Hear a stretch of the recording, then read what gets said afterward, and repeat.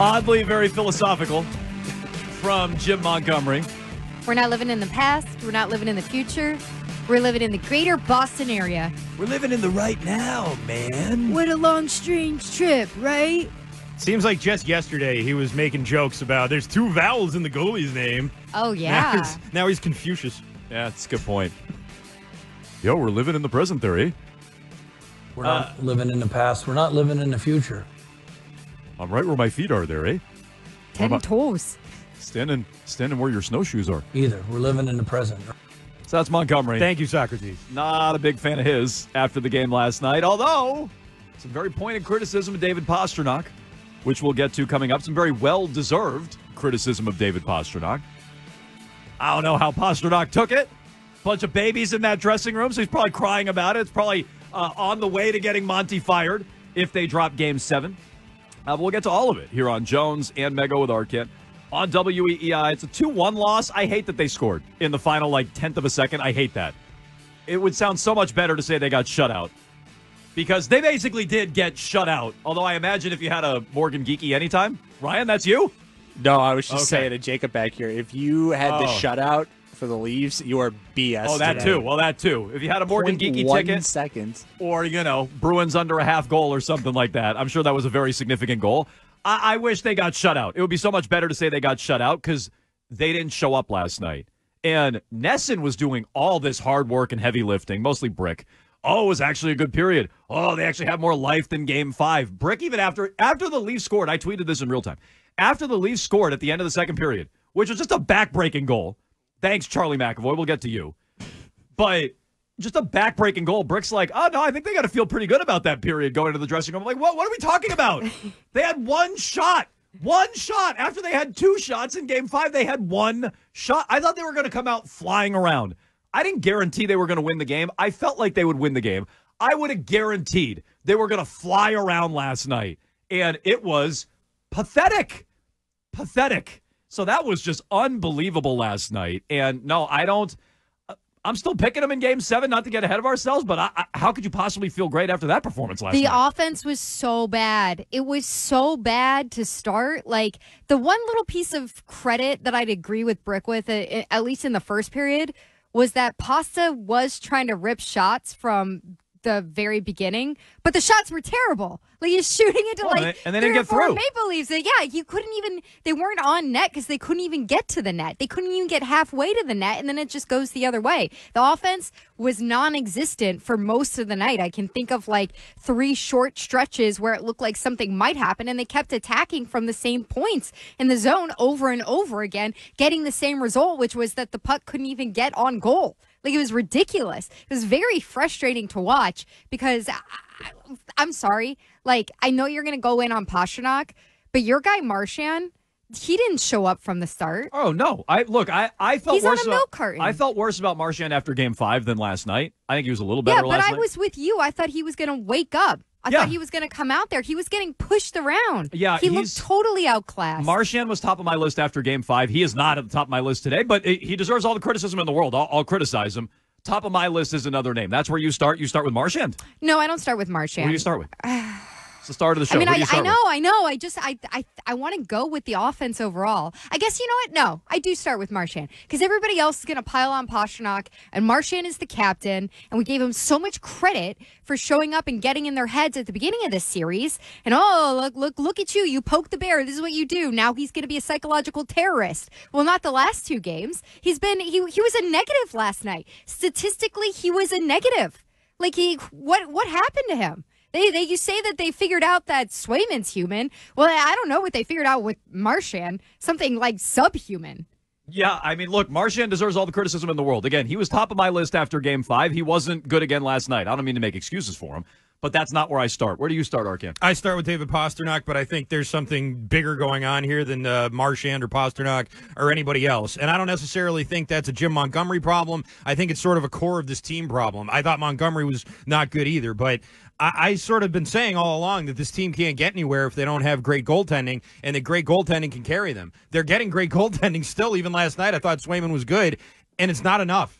Like that's that's the reality I think that we need to face right now. Is this team, even with a virtuoso performance in their in their uh, crease right now, is just sinking every game. I feel like they're sinking more and more, and it's become a team wide thing. I don't think that there's anybody who's really standing out as uh, as playing well. I don't think that there's anybody in the forwards and the defense, maybe in the penalty kill. There's some good penalty killers. I think Mason Lohrei has Uh, good. yeah, and he was good when he wasn't getting his face slammed into the boards. Uh, well, but that was in fairness, that wasn't his fault. no, it wasn't. But I mean, all in all, I I know it's the Leafs, and I know that uh, I know that they're the chokers here. But I didn't see any progress. I didn't see any progress from the Bruins last night. Not at all. They had another terrible first period. Uh, they had a bunch of scoring chances and couldn't put a puck on net, which was unbelievable in the first uh, ten minutes of the game. They had like four scoring chances. They missed the net each time. Pasta had three in a row. It was unbelievable. And uh, they got their ass kicked in the faceoff circle again. So, like, really, I didn't see anything. I didn't see anything different in this game or Me anything neither. better in this game Me neither. that I feel good about going into game seven. telling Not you. one thing. But I start with David Pastrnak. Fair. Uh, and look, again, I'll say the same thing about Pastrnak I say about Marchand. Blame him all you want. I, I heard the coach after the game. We'll get to him in a second. But, like, blame whoever you want, not named Swayman. And Lohrei's another good one. Like, that's probably one that I don't have a lot of criticism for. I think he's like he's playing above his level in Fine. this series. But my, my point is criticize whoever you want. That's just not where I personally start. Marchand on the list, definitely. Pastrnak on the list, definitely. I agree. There's like a concerted effort from NESN to point out like how much better they were last night. They weren't any better. This was worse. This was coming off how they played in game five. You expected them to respond. All right, fine. They were invisible at the beginning of game five. They turned it on after that. Somewhat understandable. They were up 3 1. This, they got embarrassed in game five and had no response. This is worse, not better, NESN. Worse. I start with McAvoy. McAvoy is where I start. Good place to start. McAvoy iced the puck, which led to Toronto's go ahead goal last night. McAvoy was on the ice for the second Nylander goal, which was an empty net goal, but still, he's the only player, I think, who was a minus two. And the freaking puck goes in off of him and goes in Swayman. The, the Leafs didn't beat him last night. They didn't beat Swayman. They bounced it in off McAvoy because McAvoy's standing in the way of Jeremy Swayman. And so to me, that's where I start. And it wasn't all bad for McAvoy. Right? He was almost 27 minutes of ice time, 11 hits. I felt like he was making a concerted effort to try to get some shots on net. Not that hardly any of them actually landed on net, but he was at least trying to get some shots on Joseph Woll. I start with McAvoy. Like McAvoy's the reason that you were behind in that game. So that's where I start. Start wherever you want. I know where Jim Montgomery started after the game last night. Here he is, asked about Marchand and Pastrnak, which is important. He's asked about both together. Okay, he's asked about where the superstars are. They were carrying the team earlier. Just know he was asked about both. Here's where he took it. You got so much out of Marchand earlier in this in this series. Do you need more out of both him and Pastrnak go- in for Game Seven? Your best players need to be your best players this time of year. Um, I think the effort is tremendous. Uh, they need to come through with some big time plays and big time moments. I think Marchand has done that in the series. Boston needs to step up. Pasta needs to step up. that was very blunt. Okay, now let me piggyback. Not wrong. No, I don't think so either. But it's interesting he like separated them, right? He's like Marchand's done it. Pastrnak, he stinks. It's almost like it's his like two kids who he's like, "You're doing fine. You're okay. I appreciate it." Goofus you, and Gallant. yeah. You, on the other hand, get out of here. Okay, so now on the heels of that comment from Montgomery, let me replay you Mike Milbury yesterday. We had a short show. Maybe you didn't catch this. We played it somewhere in the four or five o'clock hour. I don't even remember where we played it.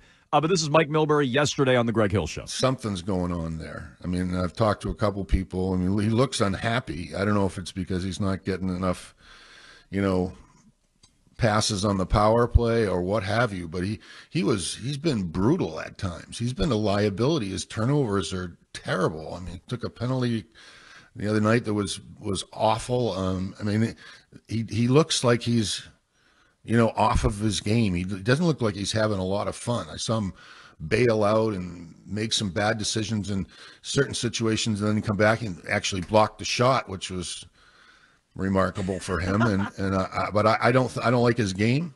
Um, and without his game straightening out, whether they win this series or not is irrelevant. They're not going anywhere with their best player playing at you know maybe 65 to 70 percent of his capacity. Yeah. So look, I um, I just had that ringing in my ears when I heard And- Montgomery after the game. But even watching the game, every time that they had a close up on him, he looked freaking miserable. And maybe it's because he couldn't get a shot even through, you know, surprise, shooting through like three defenders and one of your own guys.